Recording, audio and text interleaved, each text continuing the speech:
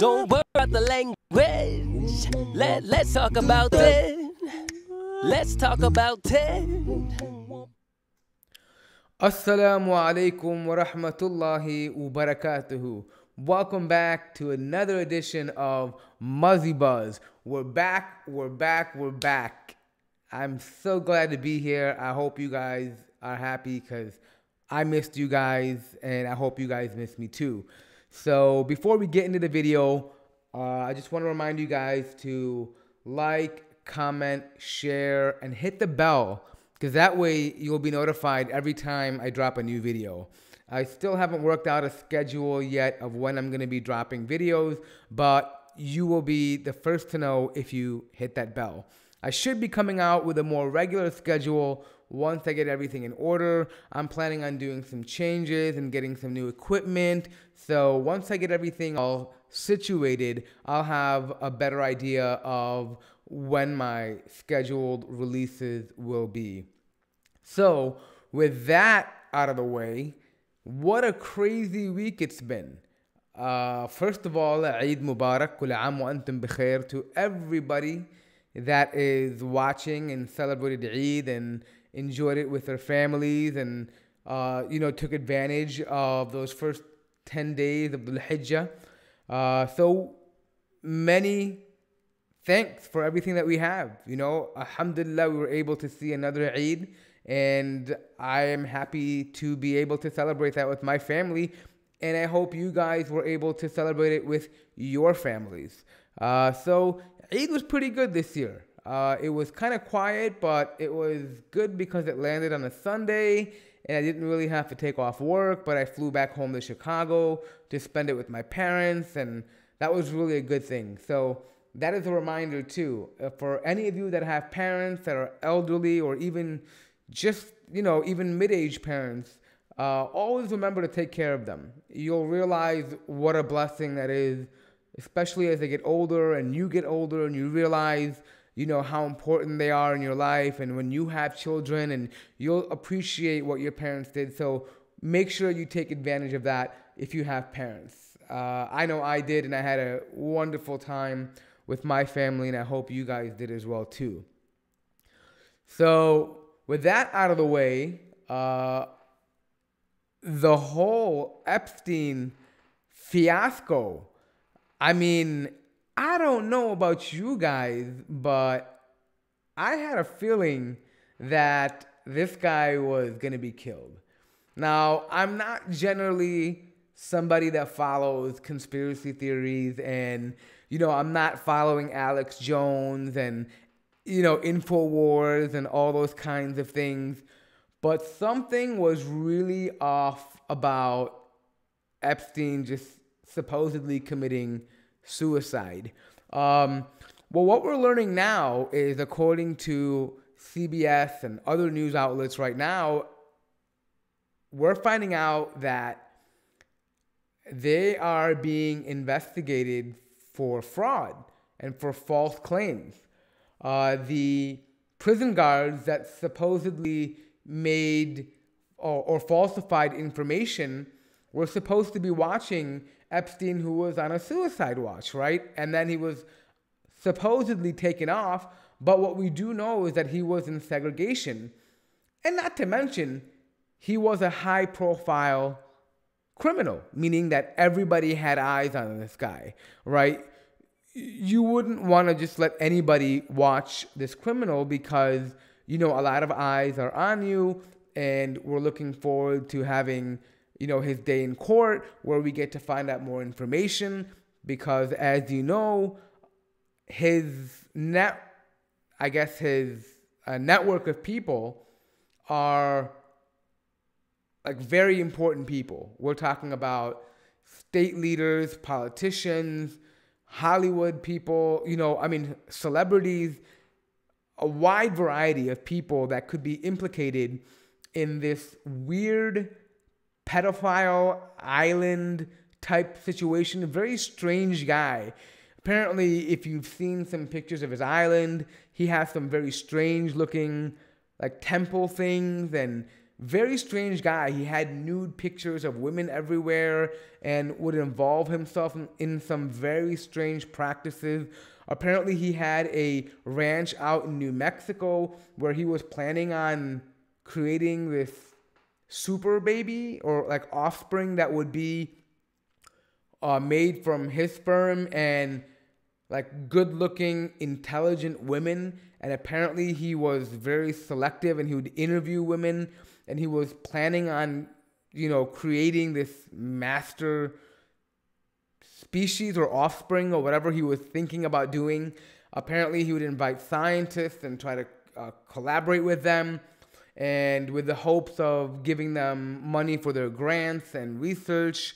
Uh, but a lot of scientists ended up saying, you know what, uh, this guy is nuts and he doesn't know what he's talking about. But in any case, uh, you know, he apparently wanted to when he died they he wanted his head and his genitals to be frozen for indefinite amounts of time for whatever reason so you're getting an idea that this guy was definitely on the strange side. Like he was definitely weird. Uh, but nonetheless there was a lot of information that was recovered from you know, his compound in in uh, I think Little Little Thomas Island or I forgot exactly where it was, but I think it's Little Thomas and Big Thomas Islands that he had out in the Caribbean, and also his mansion in New York. Apparently, they have uncovered documentation and they have direct links to politicians and celebrities that he would frequently call or that would visit him. And so you can tell the guy was plugged with a lot of important people. And that kind of criminal, you just don't leave unattended, right? I mean, this is the case that the world is going to be watching, right? It's not some small criminal or some little event. Everybody's watching you. So you wouldn't just let him, you know, be unwatched. So, with that being said, Apparently, he dies of suicide.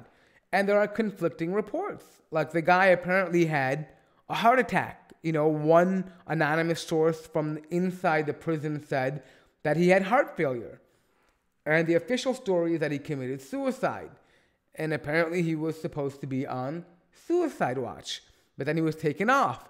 But then he was supposed to be being, he was supposed to, you know, he was supposed to be monitored, essentially for because he was a high profile criminal.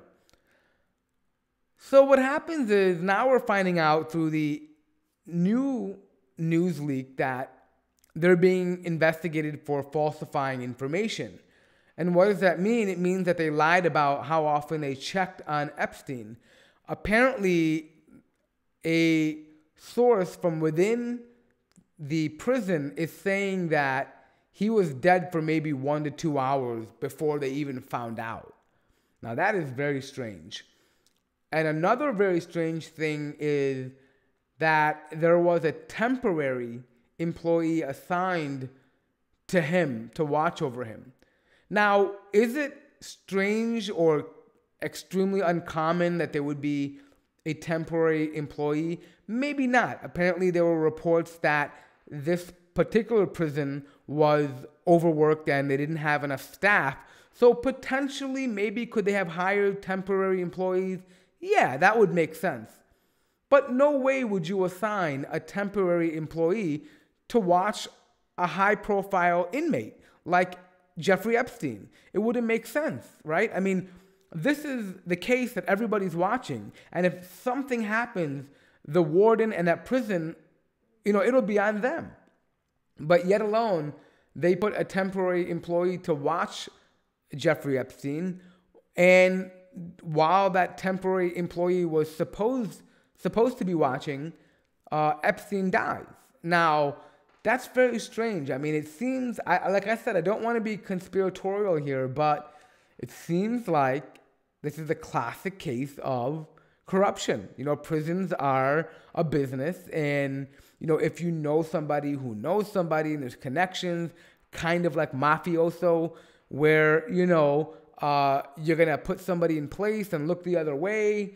and let, you know, some things pass. And so that's what it's kind of looking like right now. And I don't know, maybe you guys can help me figure this out or share your comments. I don't have all the details. I'm still kind of piecing together everything, but I haven't figured it out yet. But all I do know is that I don't believe that it, it is a suicide. I, I think that this is a very strange situation and that uh, I think there are a lot of questions that people have that are unanswered. And I think that an investigation is in line. And I think we'll find out a lot about what happened and perhaps even, you know, who may have done it. Because, like I said, there are a lot of politicians and celebrities that have connections to him. And it wouldn't be too far out to think that somebody wanted him dead, right? So that's what I'm thinking. I don't know. You guys can let me know what you guys think. Let me know in the comments below or tweet at me at Twitter, uh, MortTMM. That's my Twitter handle.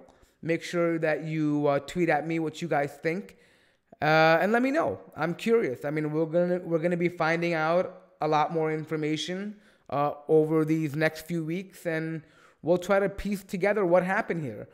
Uh, but let's let's see. I mean, it could be really a suicide. We don't know. Maybe it actually really was a suicide, but we'll have to figure out. So I'll update you or I'll share my thoughts when I find out more information or if I think something is compelling enough. And uh, I'll share that with you guys maybe in a different video. So I wanted to talk about something a little bit different, and I wanted to wrap up my video with this here. Uh, I was recently on Twitter, you know, tweeting along, and so I saw this Muslim sister who had tweeted saying that she's really struggling with wearing hijab that day.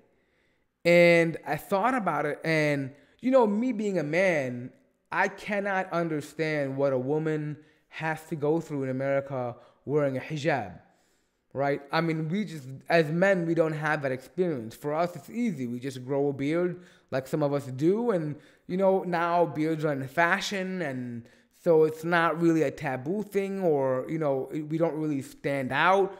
But a hijab for sure will stand out and somebody would able would be able to identify that that particular woman is a Muslim. So I can understand and appreciate the amount of pressure uh, that they feel.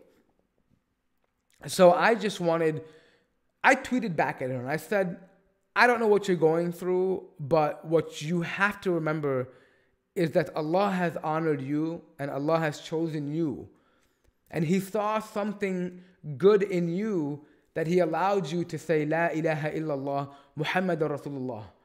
Like for that, meaning Allah has blessed you. So if He's blessing you with that, there's a reason for that. You know, never forget that. You are chosen, you are special. There's something about you that Allah has blessed you and honored you. He has, I mean, out of, look how many billions of people in the world are not blessed with the ability to say La ilaha illallah, Muhammad Rasulullah. And that is such a big ni'mah to us, such a, such a big blessing to us. And if you think about it in that context, I know it's kind of you know, cliche that, oh yeah, I'm a Muslim, alhamdulillah, yes, you know, but think about it deeper. You know, Allah has identified something within your soul, within your body, within your mind, within your heart, that there is goodness in you, and Allah wishes good for you. And since He wishes good for you, He allows you to be a Muslim. Because really, to be honest, there is no other way to get into paradise, right? Except by believing in Allah and by His mercy right? So part of his mercy, an extension of that is allowing you to be a Muslim and to be guided and to see the truth. So remember that whenever you feel down, if there's any sister out there or any brothers who know sisters that are struggling with this, don't judge them. You know, don't don't you know make them feel like they're uh, you know weak or that they are not as strong as you because they're questioning their hijab or because they're feeling down about it. Just remind them that Allah has chosen them. And even if they make mistakes, even if they decide to take it off, there's still an opportunity that they can correct themselves because they still have Iman. Even though Iman goes up and down, they still have it.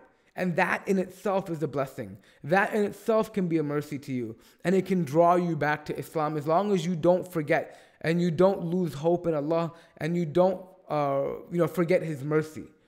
And I think that's the important thing I wanted to hit home here is that you know you're going to find moments in life where you feel you know that you're desperate or that you feel down or you feel like your iman is completely you know not the same as it was before. But that is the normal part of iman meaning that it'll go up and it'll go down.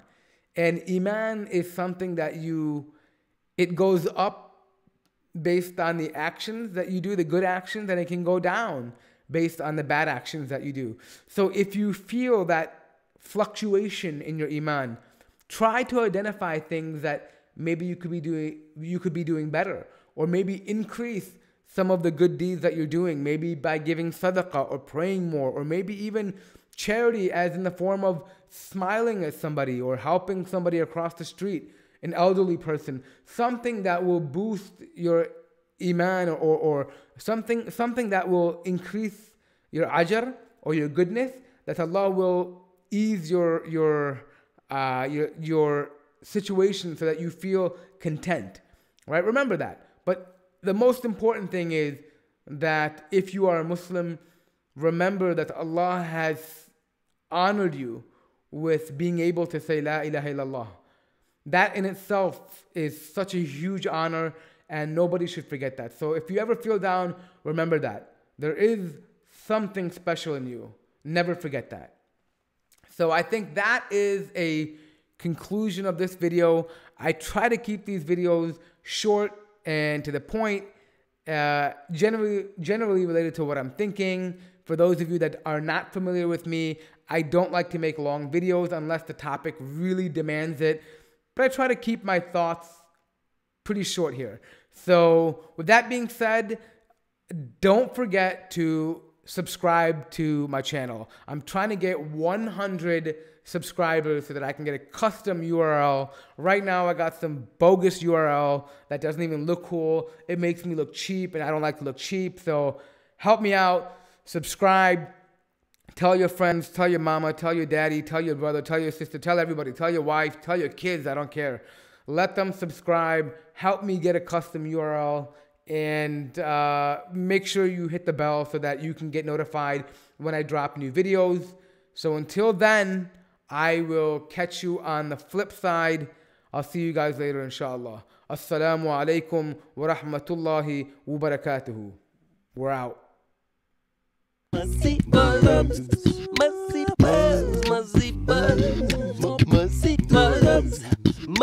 buzz, muzzy buzz,